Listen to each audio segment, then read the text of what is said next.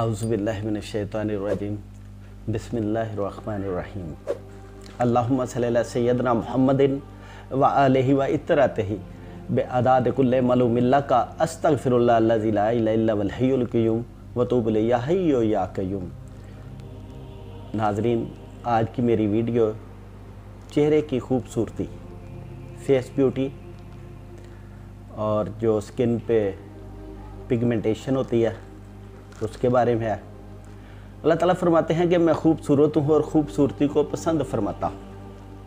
अल्लाह खूबसूरत है और इंसान को हर हर इंसान को एक रूप देकर इस दुनिया में अल्लाह ताला ने भेजा है।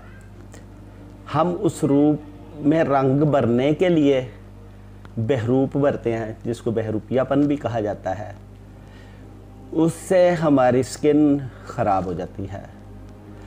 जब बच्चे बच्चियाँ सने बलूगत में पहुँचते हैं, उनकी स्किन ख़राब हो जाती है, ये एक कुदरती अमर है। फिर हमारी डाइट में कुछ ऐसी चीज़ें शामिल हो जाती हैं, जिससे हमारे चेहरे की ब्यूटी मानद पड़ सकती है। हमारे रहन सहन में कुछ मामला ऐसे हो जाते हैं, जिससे हमारी ब्यूटी में फ़र्क आता है।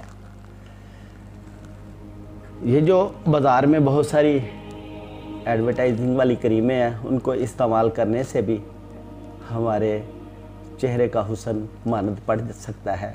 कुछ बीमारियाँ ऐसी हैं, कुछ हालतें ऐसी होती हैं ख़वान हजरात में कि उनसे भी इस मामले में काफ़ी पेचीदगी आ जाती है और हमारी जो चेहरे की ब्यूटी है वो ख़त्म हो जाती है।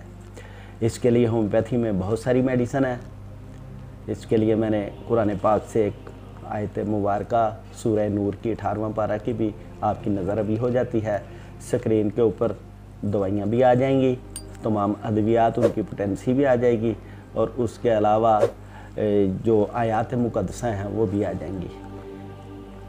चेहरे की खूबसूरती के लिए, की लम्हासों के लिए, होम्योपैथी में एक बड़ी मशहूर दवाई है, मसूद फार्मेसी की, एच आर ट्वेंटी फोर के नाम से आती है।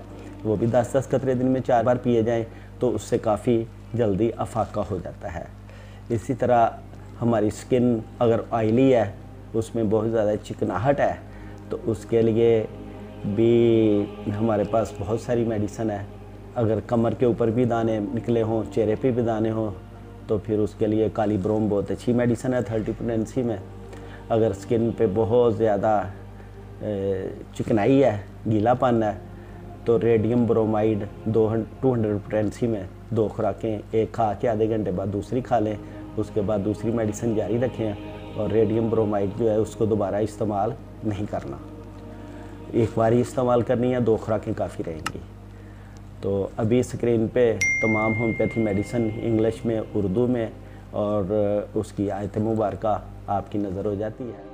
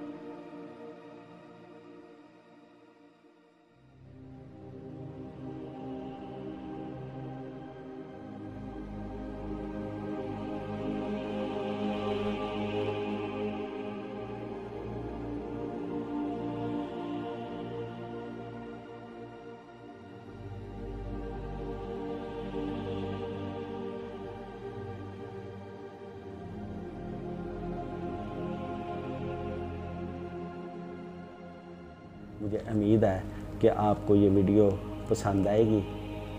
जजाकल्ला खैर।